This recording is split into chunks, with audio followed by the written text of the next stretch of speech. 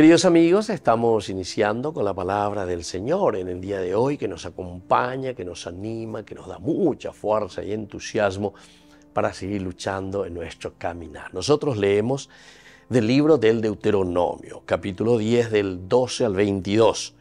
Moisés habló al pueblo diciendo, y ahora, Israel, esto es lo único que te pide el Señor tu Dios, que lo temas y que le sigas todos sus caminos, que ames y sirvas al Señor tu Dios con todo tu corazón, con toda tu alma, observando sus mandamientos y sus preceptos, que hoy te prescribo para tu bien.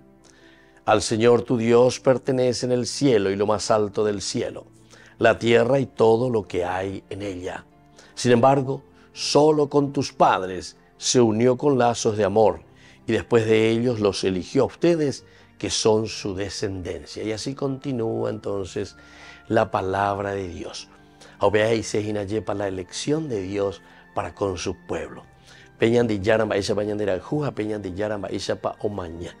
Ñan de mishina moñepe, ñan de shapina moñepe, ñan de iga tuya aye bañan de yara omaña. Home en baite ñan de iga tu hanguay shalaña pu.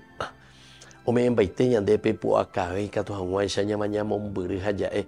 Se upe shandiga tuila a continua. Se upe shandiga tui agüera jaco sereco. Qué lindo que es, amigos, entonces escuchando la palabra de Dios e incluso viendo nuestras debilidades y nuestros pecados, poder decir, yo necesito, ¿verdad?, la fuerza de Dios para caminar, necesito la fuerza de Dios para hacer lo mejor, para presentar también lo esencial y lo fundamental a mi comunidad, a mi familia. Y eso entonces hacer crecer como comunidad, hacer crecer como familia en este camino de la construcción del reino de Dios. Que la bendición de Dios descienda sobre todos ustedes, el Padre y el Hijo y el Espíritu Santo. Amén.